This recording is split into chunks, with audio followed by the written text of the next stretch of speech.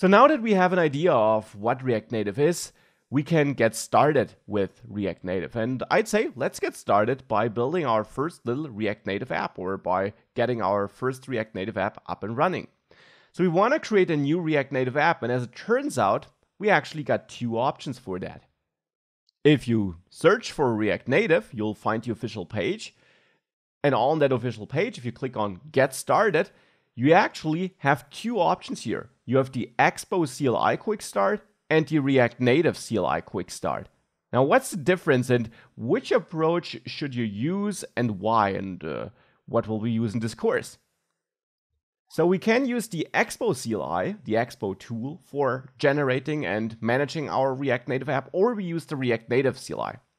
Now, if you first have that choice, you would probably go for the React Native CLI because you want to build a React Native app after all, right?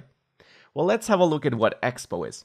It's a third party service which is completely free to use. You don't need to sign up to get started, and you don't have to pay to build an app which you can publish to the App Store. So it's really free to use. What Expo gives you is kind of a managed app development workflow.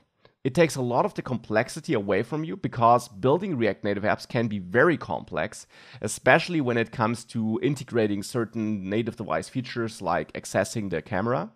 And Expo simply gives you a lot of convenience there. It makes development of React Native apps a breeze and so much easier.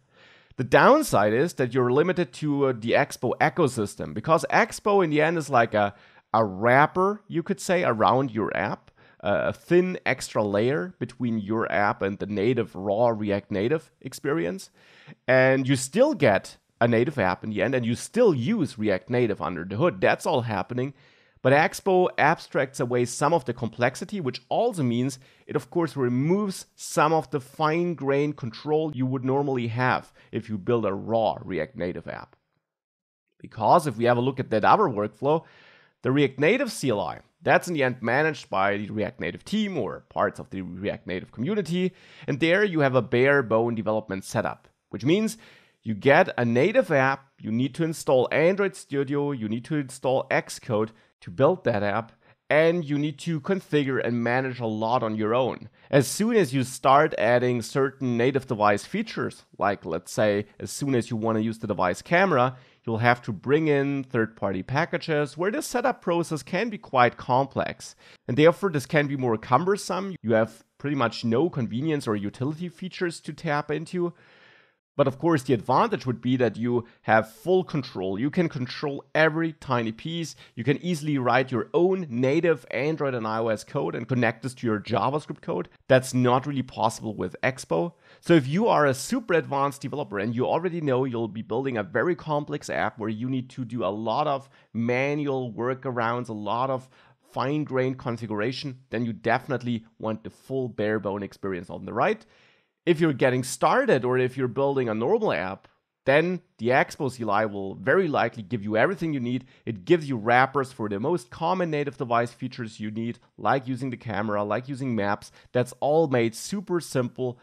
And if you ever get to a point where you find out, oh, I need more control, then you can always also switch from the Expo workflow to the native workflow. You can eject, and then you have the full flexibility. Therefore, nothing speaks against getting started with Expo. You can always switch to the other experience if you need to. And we'll use Expo in this course because it's simpler, because it gives you everything you need for most apps, because it's so much more convenient to work with it, and because you can always switch. Now, later down in the course, I will also give you an introduction to the more bare bone workflow and what that would mean for you, but for the majority of the course, we'll work with Expo. Behind the scenes, this Expo tool works such that you have your native device or your simulator, so your iPhone or your Android phone, and you have your app, your React Native app you'll be writing. So your JavaScript code where you write your React Native app. Now, on your native device or on the simulator, you will install an extra app from the App Store, the Expo Client app, and we'll do that together in the next lecture. Now, your app can then be loaded into that client app, which is this extra wrapper, to see it there, to run it there, to test it there. And that's, of course, great for development. You can also publish your app as Expo app so that other people who have the Expo client installed can easily run your app. They don't even need to install it from the Google Play Store or the Apple App Store.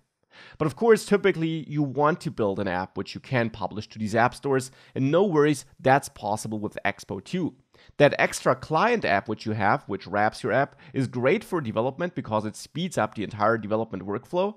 But if you want a standalone app, so an app that is not relying on that Expo client, which most of your potential users probably won't have installed, well, then Expo also allows you to build and publish standalone apps. So, apps that do not rely on the Expo client being installed. So, therefore, with Expo, you can build normal apps which are distributed to the normal app stores standalone, where your users don't need any special app installed. But you have that extra convenience during development, which is great.